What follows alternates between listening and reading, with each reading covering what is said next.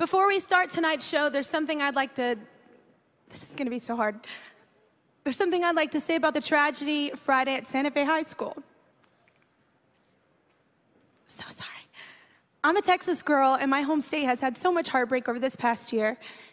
And once again, y'all, we're grieving for more kids that have died for just an absolute no reason at all. And um, tonight, they wanted me to say that obviously we want to pray for all the victims, we want to pray for their families, but they, they also wanted me to do a moment of silence.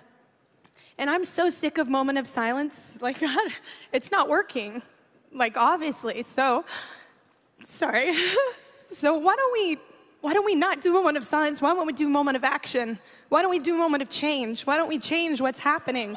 Because it's horrible. And and mamas and daddies should be able to send their kids to school, to church, to movie theaters, to clubs. You should be able to live your life without that kind of fear. So we need to do better. We need to do better. So people are failing our children, we're failing our communities, we're failing their families. I can't imagine, I have four children, I cannot imagine getting that phone call or that knock on the door. So instead of a moment of silence, I want to respect them and honor them. With tonight, y'all, let's, in your community, where you live, your friends, everybody, let's have a moment of action. Let's have a moment of change.